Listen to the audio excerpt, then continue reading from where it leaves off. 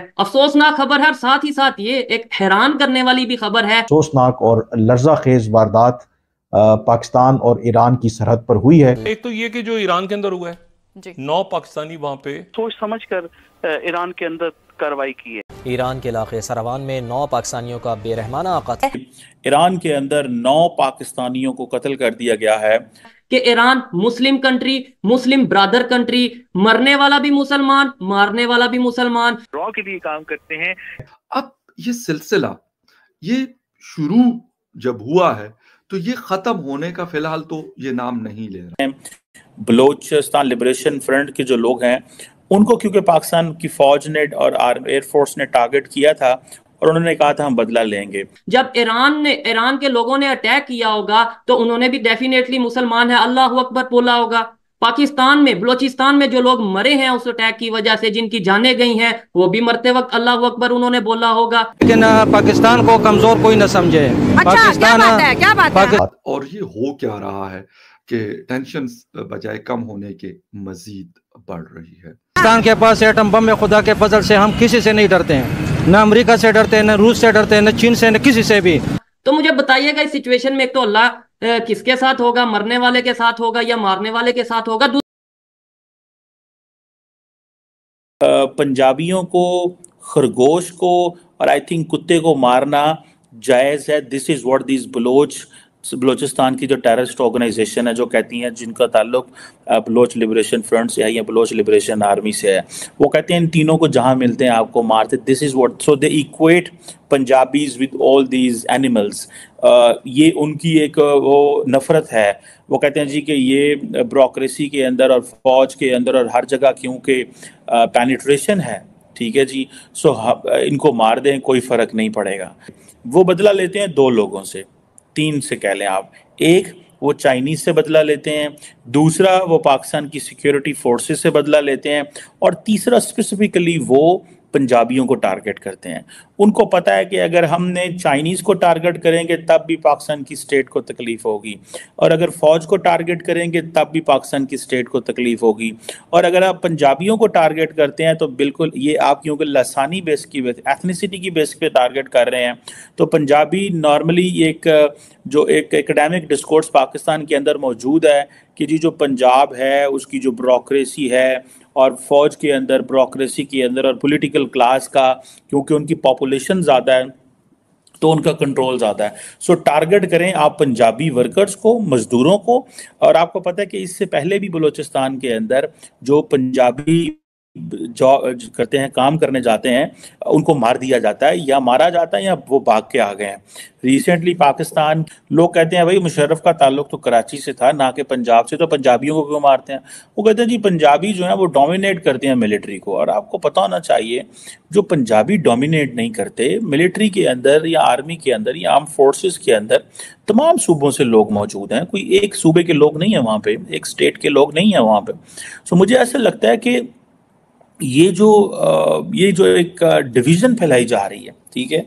ये that is so much dangerous एक तो ये कि जो ईरान के अंदर हुआ है जी। नौ पाकिस्तानी वहाँ पे आज उनके जो पाकिस्तान के सफ़ी जो मुदसर टीपू साहब हैं उन्होंने सदर इब्राहिम रईसी से मुलाकात की। मेरे ख्याल से उनके वज़ीर खारजा पाकिस्तान भी आ रहे हैं लेकिन ये अफसोसनाक वाक़ पेश आया है। नौ पाकिस्तानी वहाँ पे जो है उनको वहाँ पे शहीद कर दिया गया। क्या ये मुमकिन है? जो कुछ मैं कह रहा हूँ, जो बात हो रही है, क्या ये मुमकिन है या ये बिल्कुल मुमकिन नहीं है? नहीं।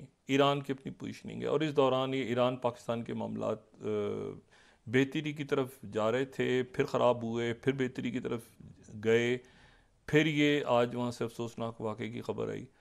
तो ये अब अगले चंद दिनों में ये बात वाज होगी कि क्या वहाँ पे सीज़ फायर होता है।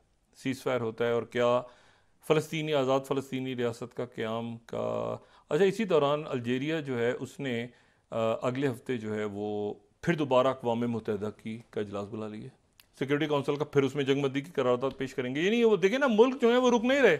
मुल्क अपने अपने वो प्रेशर इतना बिल्ड हो रहा है। उसी दिन एक बहुत बड़ा इंसिडेंट होता है जाहिदान का इलाका है, सारवान, सरवान सिटी है। वहाँ पर पाकिस्तानी जो वहाँ पे मजदूर लोग थे लेबर क्लास थी वहाँ पे कोई काम छोटे मोटे मजदूरी करते थे।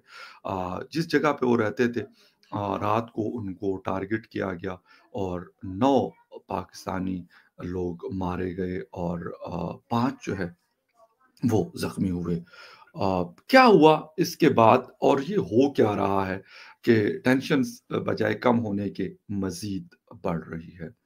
आ, इसकी वजूहत क्या है? पाकिस्तान और ईरान में इस तरह की चीज़ें क्यों अब ज़्यादा देखने को मिल रही है? बात हम कर रहे हैं इस वक्त पाकिस्तान और ईरान के ताल्लुकात के हवाले से। बहुत दफ़ा हमने देखा कि वाक़ात होते रहते हैं। लेकिन अभी जो रिसेंटली हुआ, अभी मैं एक इंटरनेशनल उसका अरब न्यूज़ का एक मैं आर्टिकल पढ़ रहा था कि वो कुछ हुआ जो शायद कोई सोच भी नहीं सकता था। या किसी ने कभी सोचा भी नहीं होगा कि इस लेवल पे भी ताल्लुक आ सकते हैं कि एक दूसरे के ऊपर मिसाइल फायर किए जाएँगे, एयर स्ट्राइक्स की जाएँगी, फिर एम्बेसडर्स को वापस बुलाया जाएगा, एम्बेसडर्स को निकाला जाएगा, डिप्लोमेटिक स्टाफ को निकाला जाएगा बॉर्डर बंद किया जाएगा। यानी ये सारी चीज़ें हमने last ten to fifteen days में देखी। और अगर चलें उसके ऊपर इक्तफा होता और चीज़ें ख़त्म होती तो कहते कि चलें एक इशू आया था, लेकिन उसको बहुत अच्छे से रिजॉल्व किया गया। उसके बाद जो पाकिस्तानी वहाँ पे काफ़ी सारे मेहनत मजदूरी के लिए ईरान जाते हैं। अक्सर मैं देखता हूँ, बल्कि एक बार्बर शॉप पे मैं जाता था तो वहाँ पे एक लड़का काम करता था सरगोदा का। तो वो बीच में से खैर एक दिन मेरी वो कटिंग वटिंग कर रहा था तो बात बात हुई तो उसने कहा, जी, मैं तो ईरान में काम करता हूँ। मैं कहा, यार, ईरान में आप कहते हाँ मैं ईरान में काम करता हूँ। ईरान, सिस्तान, बलूचिस्तान जो उनका इलाका है। मैं बड़ा हैरान हुआ। मैंने कहा मजदूरी वगैरह अच्छी मिल जाती तो उन्होंने कहा हाँ मजदूरी अच्छी मिल जाती है और जाते छः सात महीने गुजारते हैं। अच्छे पैसे मिल जाते हैं, वापस आ जाते हैं। मैं कहा, नहीं, चले, अच्छी बात है कि अगर आपको काम मिल रहा है तो अच्छा है और यहाँ से अगर बेहतर मिल रहा है तो बहुत ही अच्छी बात है। खैर हुआ क्या कि फिर जब ये वाला वाक़ होता है तो इस तरह के यानी बहुत सारे लोग बलूचिस्तान में भी, हमारे पाकिस्तान के बलूचिस्तान में भी, पंजाब, खैबर, पुख्तनख्वा, सिंध, इनके बहुत सारे लोग वहाँ पे काम वगैरह करते हैं। फिर इस तरीके से ईरान में भी ये सिलसिला चलता रहता है, बहुत सारे लोग काम करते हैं। लेकिन ये नहीं है कि कोई, अब ये लोग गए हैं, पहले नहीं काम करते थे। सालों से काम करते अफ़गानिस्तान के बहुत सारे लोग ईरान में मेहनत मजदूरी करते हैं। लेकिन ये वाकया ये इंसिडेंट का होना ये एक मैं कहता हूँ कि एक बहुत बड़ी अनफॉर्चुनेट सिचुएशन है। इससे पहले जो कुछ हुआ ईरान ने स्ट्राइक किया उन्होंने कहा हमने जैशुल जैशल अदल के लोगों को निशाना बनाया। फिर उसके तकरीबन 24 आवर्स में पाकिस्तान ने स्ट्राइक किया उन्होंने कहा जी हमने बीएलए के लोगों को आ, निशाना बनाया और पाँच छह लोगों को मार दिया। ये सिलसिला, ये शुरू जब हुआ है तो ये खत्म होने का फ़िलहाल तो ये नाम नहीं ले रहा।